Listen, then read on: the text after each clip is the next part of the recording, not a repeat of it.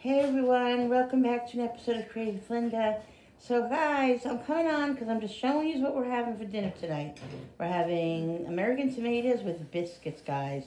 Not homemade biscuits. I made the biscuits from the can, which is completely fine. Didn't have feel up to making real biscuits, you know, homemade biscuits. But anyway, they're just as good. So that's what's for dinner tonight. Sorry it's not a longer video, but I was kind of pooped today. So this is what's for dinner, guys. So guys, I hope you're having a great day. We'll see you on the next video. Like and subscribe. Bye.